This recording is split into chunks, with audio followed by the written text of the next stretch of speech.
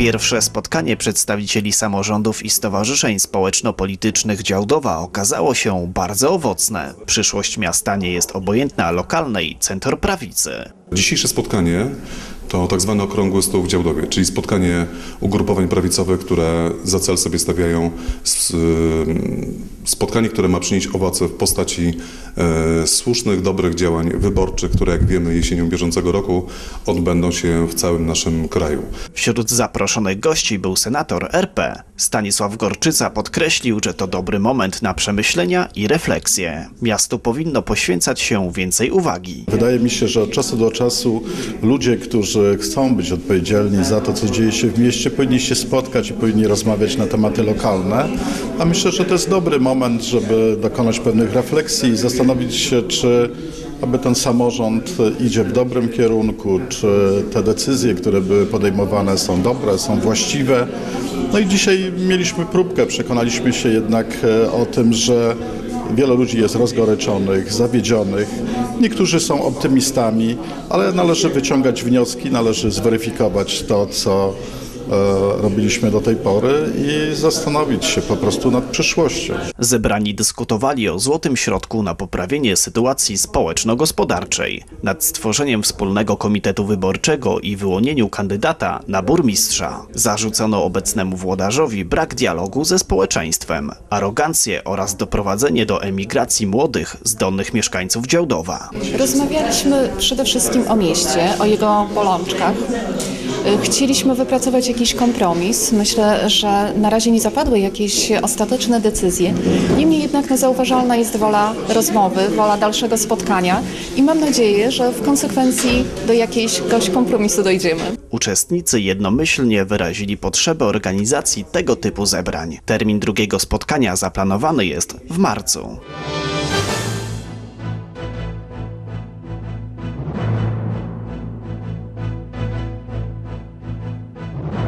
Dziewięć dziewięć siedem, dziewięć dziewięć osiem czy 999. Te numery alarmowe są znane niemal każdemu. Wybieramy je, kiedy potrzebujemy pomocy policji, straży pożarnej czy pogotowia. Istnieje też jeden numer alarmowy, który integruje wszystkie wymienione służby ratownicze. To numer 112. Czy w razie wypadku wiecie pod jaki numer dzwonić? Jak najbardziej. Jaki numer byś wybrał? Mm, 112 choćby. 112. 112, ewentualnie 997. Jak jakiś wypadek na pogotowie, to 999, Straż Pożarna 998. Jeżeli z komórki, to na 112. Dzwoniłem w tym roku raz i, i za trzecim razem się dodzwoniłem na ten 112. Ale jak się nie idzie dodzwonić, to dzwonię 997. Aby poznać dokładną funkcję numeru 112 oraz zasady jego korzystania, udaliśmy się do Centrum Powiadamiania Ratunkowego, które mieści się w Olsztynie przy ulicy Niepodległości. Numer 112 służy, to jest to numer, który, który, nale- na który należy dzwonić w chwili zagrożenia życia, zdrowia lub mienia.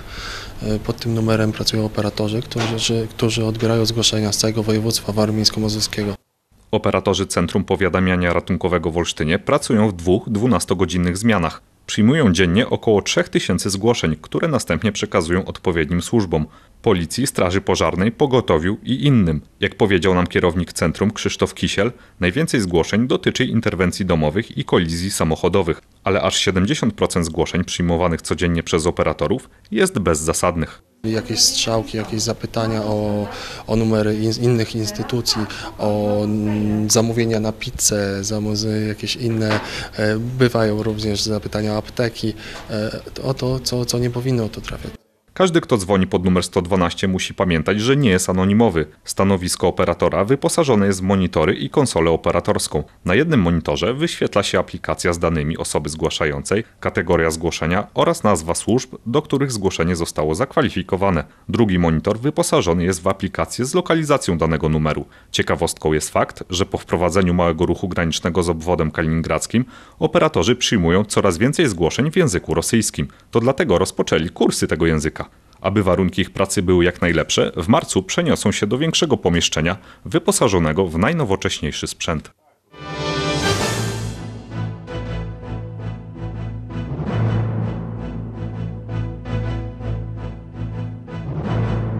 Mój Walenty jest the best, idzie ze mną zrobić test. To akcja Krajowego Centrum do Spraw AIDS, której celem jest zachęcenie młodych, pełnoletnich osób do wykonywania testu w kierunku HIV, a tym samym promowanie prozdrowotnych zachowań wśród tych osób.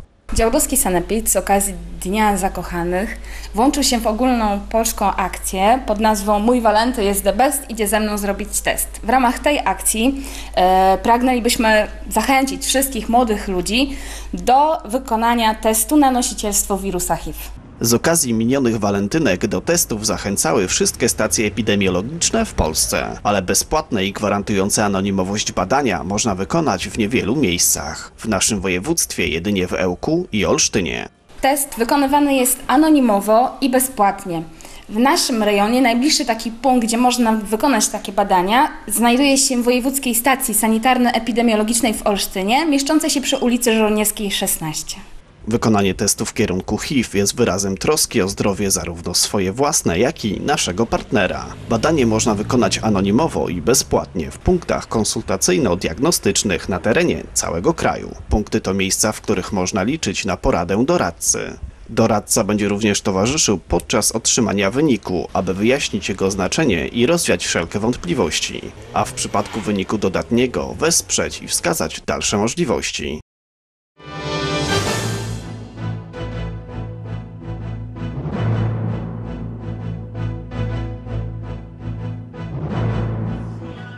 Kiedy 10 lat temu trzej olsztyńscy pasjonaci mieszanych sztuk walk zakładali klub sportowy, mało kto przewidywał, że zdobędą wielką popularność.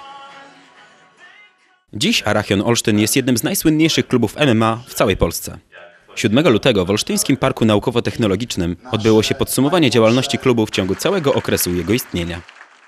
Przez te 10 lat na pewno e, dużym sukcesem jest to, że utworzyliśmy e, kilka samodzielne, samodzielnie działających filii, e, poczynając od klubu w Dobrym Mieście czy w Lidzbargu Warmińskim, a działających do dnia dzisiejszego w Morągu i Ławie Indzicach, że to też nas bardzo cieszy, że, że te kluby się rozwijają. Są oczywiście cały czas pod naszym nadzorem rozwojowym szkoleniowym, ale już działają samoczynnie i też nas to bardzo cieszy, że, że ta nasza wiedza się rozgałęzia na wiele poziomów. Podczas spotkania rozmawiano o planach na przyszłość, ale i o historii klubu Arachion. Wspominano jego początki, które, jak się okazuje, nie należały do łatwych. Początki były słabe, można powiedzieć. E, e, pierwsze starty po dwóch miesiącach, e, nieudane, pierwsze trzy starty. Od razu na głęboką wodę poszliśmy, ale wtedy klub dopiero powstał. MMA było też na początku jakby rozwoju w Polsce. My byliśmy amatorami, jeżeli chodzi o MMA. No ale na dzisiaj, dzisiaj to już jest troszeczkę inaczej.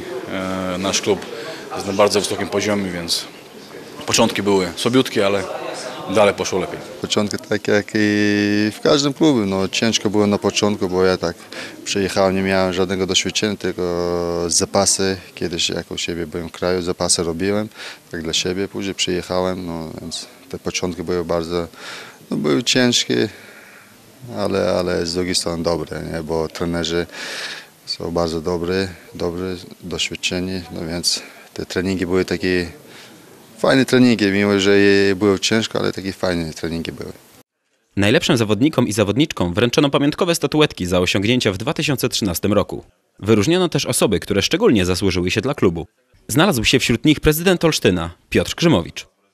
Dziesięciolecie, czas podsumowań, czas na pewno e, przemyśleń, ale czas do dumy, bo przecież wspaniałych zawodników klub w swoich szeregach posiada, wspaniałych trenerów, którzy e, swoją pasję, jak i wiedzę przekazują tym najmłodszym.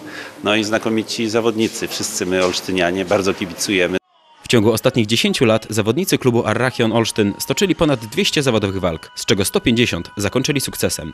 Obecnie pod czujnym okiem trenerów i założycieli klubu Pawła Derlacza i Szymona Bońkowskiego ćwiczy około 150 zawodników w różnych kategoriach wiekowych.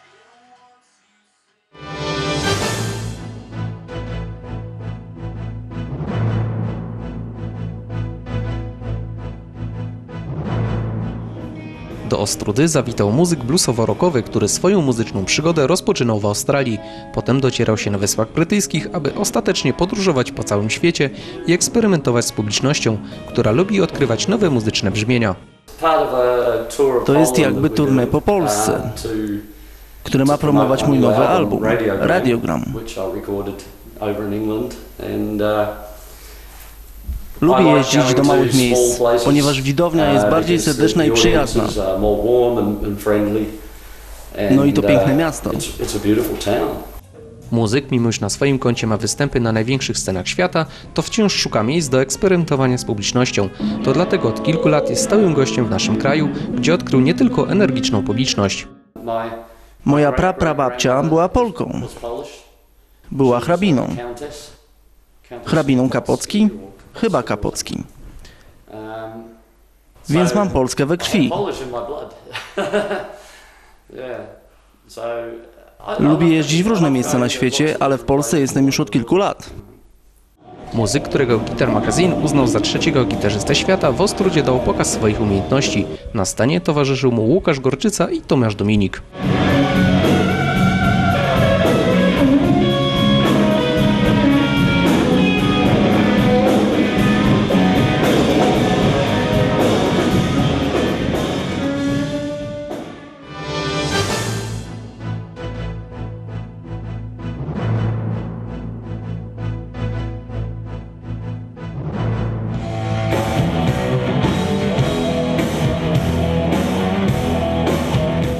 Po raz trzeci w sali kameralnej Ostruckiego Amfiteatru zorganizowano imprezę z cyklu Kulturalne koncerty bez procentów.